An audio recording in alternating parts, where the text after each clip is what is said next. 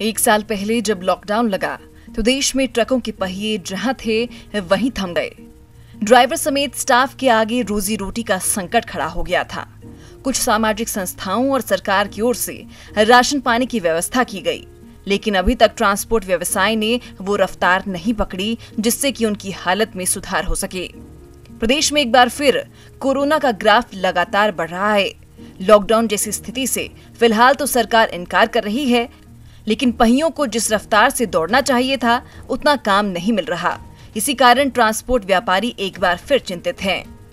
हमारा जो ट्रांसपोर्ट जगत था वो बहुत ही प्रभावित हुआ जिसका नतीजा ये हुआ कि पंद्रह दिनों तक तो कंप्लीट हमारा ये जो लॉकडाउन रहा गाड़ियाँ खड़ी हो गई जहाँ गाड़ी थी वहीं खड़ी हो गई। ट्रक ऑपरेटरों की माने तो कोरोना काल में जब सरकार को ज़रूरत थी तो हमने जान की चिंता नहीं की। और कोरोना वॉरियर्स की भूमिका निभाकर लोगों तक राशन पहुँचाया, ताकि देश के बाशिंदों के आगे रोटी का संकट नहीं खड़ा हो। लेकिन अब सरकार हमें नजरअंदाज कर रही है।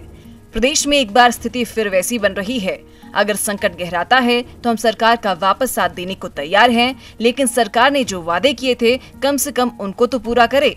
कोरोना जैसे ही कोरोना हुआ, इसके बाद बड़ी दिक्कतें आई हमारे को। हमारे जो ड्राइवर थे, उनकी जो सैलरियाँ थी, वो भी निकालना बड़ा बड़ी मुश्किल हो गया था हमारे को। घर के खर्चे नहीं चल रहे थे तो मतलब ये टाइम देखना पड़ा, ऐसा सोचा नहीं था कभी नहीं।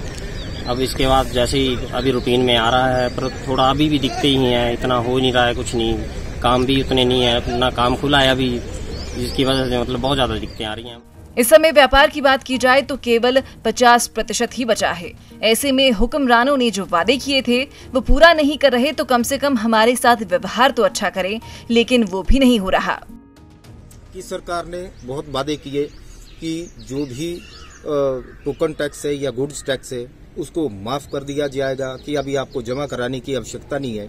और इंश्योरेंस के बारे में भी यह कहा कि जो भी गाड़ियों के डॉक्यूमेंट्स थे, कि वो डिले हो सकते हैं लेकिन उसमें कुछ माफ़ भी किया जाएगा और आपको जो गाड़ी के पेपर है, वो तमाम पेपर को अभी आपको पूरा करने की कोई ज़रूरत नहीं, और वो वैलिड माने जाएँगे। लेकिन उसके बावजूद क्या हुआ कि आज सरकार ने हमने इतना साथ दिया, हमारे ड्राइवरों ने, हमारे ड्राइवरों की अपने हरियाणा के अंदर, जैसे ही हम गंदम के लिए गए वहाँ, या रिफाइंड ऑयल लाने की बात थी, सरकारी राशन था सारा तो तमाम लोगों के साथ पुलिस ने भी बड़ा दुर्व्यवहार किया।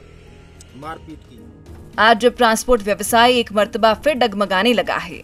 ऐसे में सरकार की अनदेखी व्यापारियों को परेशान कर रही है। ये बड़ा सवाल ट्रांसपोर्ट का व्यापार कर रोजी रोटी कमाने वालों के आगे जस का तस खड़ा हुआ है। कि सरकार साथ नहीं देगी तो फिर आखिर कौन हमें संकट से बाहर निकालकर हमारा रहनुमा बनेगा?